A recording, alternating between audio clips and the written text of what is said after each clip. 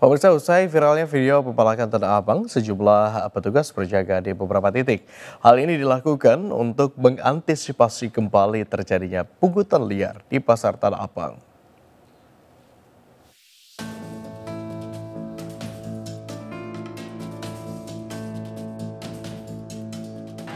Pasar Tanah Abang kembali dijaga oleh sejumlah petugas, di antaranya petugas Dinas Perhubungan dan juga petugas Satpol PP. Ini dilakukan guna untuk mengantisipasi nantinya Pasar Tanah Abang ini dapat melakukan aktivitas dengan keadaan yang kondusif dan juga aman bagi para pengunjung.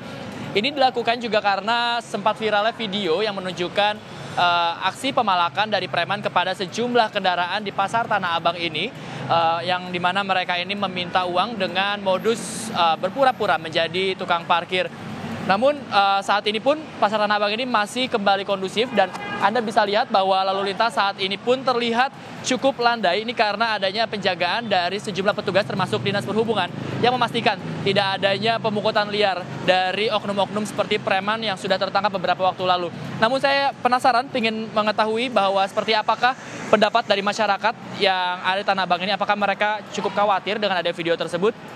Permisi Ibu, boleh sebentar kita berbincang. Ibu dengan Ibu siapa Ibu? Winingsih. Bu Winingsih. Bu Winingsih sempat ada viral video terkait pemalakan di Pasar Tanah Abang. Sebagai pengunjung khawatir nggak sih? Uh, kurang tahu sih Bang, soalnya saya juga pengunjung juga. Uh, tapi kalau melihat kejadian-kejadian tersebut sebagai pengunjung ini sempat uh, ada rasa was-was atau seperti apa nggak? Mungkin ada juga sih Bang. Uh. Iya. Ibu cukup sering ke sini?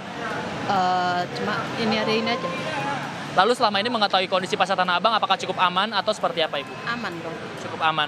Sebagai pengunjung nih Bu, ada nggak sih harapan kepada para petugas mungkin agar nanti bisa belanja lebih aman lagi dan pasti bang pasti kalau di sini kan harus mengharapkan aman belanja kita kan kalau belanja kita kan tenang gitu bang.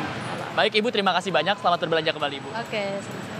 Seperti itulah tanggapan dari para pengunjung, walaupun mereka uh, memiliki perasaan was-was, namun mereka uh, tetap percaya diri untuk uh, datang ke Pasar Tanah Abang ini untuk melakukan aktivitas berbelanjanya.